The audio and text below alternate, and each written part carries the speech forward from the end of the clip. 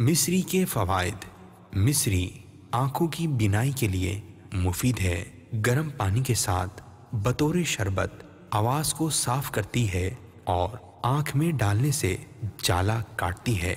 आप इस मदनी फूल को दावत इस्लामी के इशाती इदारे, मकतबतुल मदीना की मतबुआ शेख तरीक़त अमीर आल सुन्नत दामद बराकातुहुमुल आलिया की माया नाज तालीफ, बेटा हो तो ऐसा। सफ़ा अड़तीस से पढ़कर मुस्तफ़ीद हो सकते हैं। आप इस रिसाले को दावत इस्लामी की वेबसाइट www.dawat-islami.net से भी डाउनलोड कर सकते हैं।